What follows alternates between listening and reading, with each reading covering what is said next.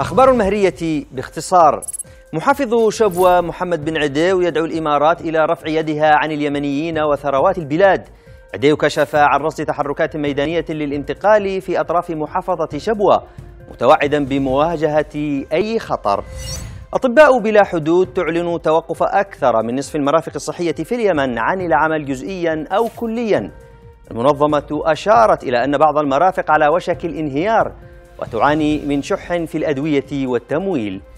وفاة رئيس الوزراء الأسبق محسن العيني في القاهرة عن عمر ناهز 98 عاما بعد معاناة من المرض.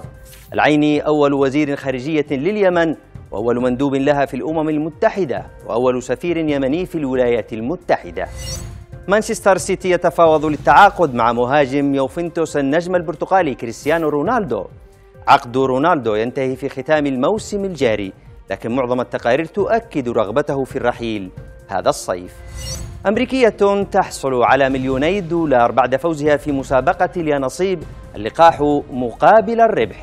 وفازت كريستين دوفال في المسابقة التي تضم كل من التزم بالتطعيم وفقا لتواريخ محددة. إلى اللقاء باختصار آخر.